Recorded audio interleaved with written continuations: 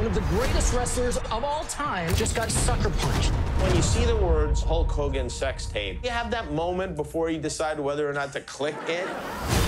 Hogan's $100 million lawsuit over a tape that was posted online by the website Gawker. It's the first celebrity sex tape case to go to trial. It put internet privacy in a battle against freedom of the press. Gawker becomes convinced that somebody else with a different agenda is financing this lawsuit.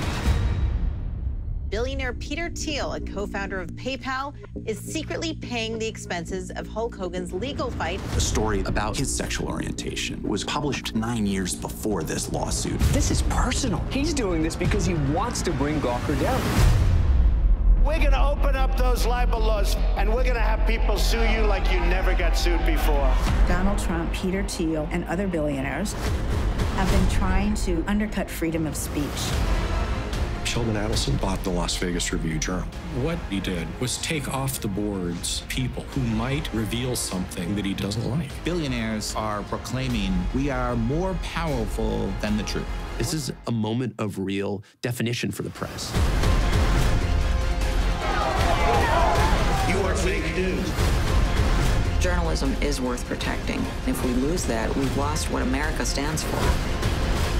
We have to fight harder and smarter than ever. Here's a message to the White House. You keep lying, we're going to keep reporting. The president believes the press is a threat to the country. Alternative facts are not facts. It's democracy that's is outdated. Money can't silence the media. We're talking about shrooms. You turn the microphone off.